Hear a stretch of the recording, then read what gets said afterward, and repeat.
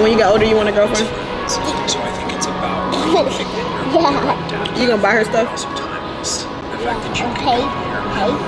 Hey, yeah. Okay, period. I love that. Because I'm still even boy. I can't even I know. You still a little boy.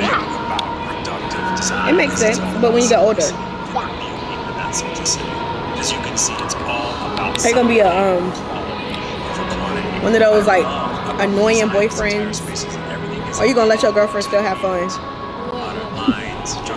Oh, love that. It's actually That's what it's about. And be a parent. Yeah, and be a parent. Oh, you wanna be a parent too? Because I'm already a parent. How many kids you want? It's designed that I love in my spaces. You've got the Eight.